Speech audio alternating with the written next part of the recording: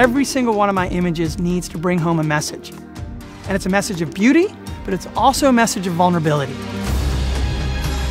I'm here to tell their story. Imagery gives you a voice. As a filmmaker and photographer, I could show people the beauty juxtaposed with the destruction and bring it to them in a way that put something in their heart and it grew.